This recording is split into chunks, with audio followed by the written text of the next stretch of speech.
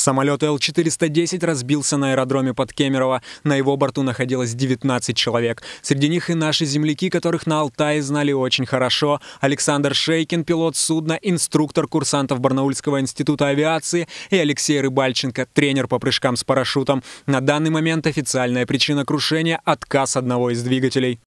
При таком отказе двухмоторный двигатель Л-410 мы вчера с ребятами рассуждали. В общем-то, на одном двигателе можно было посадить. Непонятно только, если там, почему крен, зачем крен создавали. Надо было по прямой потихоньку набирать высоту, парашютистов сбросить. Вот.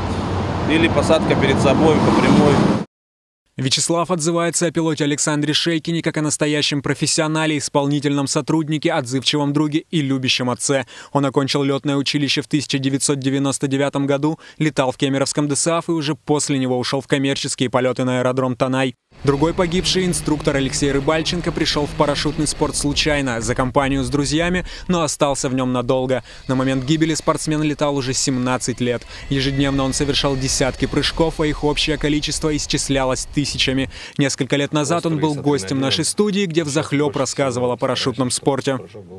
Это удовольствие дорогое. Желающих много, но в спортсменах остаются э, людей немного, потому что это как бы больше спорт уже состоявшихся в жизни людей, то есть уже потому что требует достаточных финансовых затрат, то есть покупка снаряжения, парашют, высотомеры, шлемофоны, mm-hmm. ну и непосредственно сама плата за прыжки.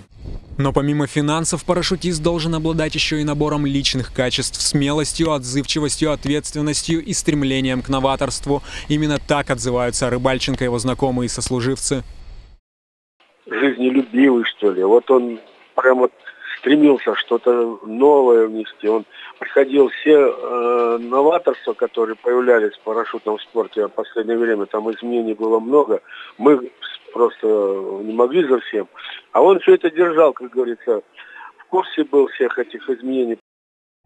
По данным следствия, самолет крылом задел кроны деревьев, и именно это стало причиной падения. В тот день экипаж совершал уже четвертый рейс. Николай Радостев убежден, пилоты не могли допустить ошибку. По его версии, причиной крушения стала техническая неисправность судна, ведь самолет использовался более 30 лет. И такой срок эксплуатации практически у всех воздушных средств ДСАФ.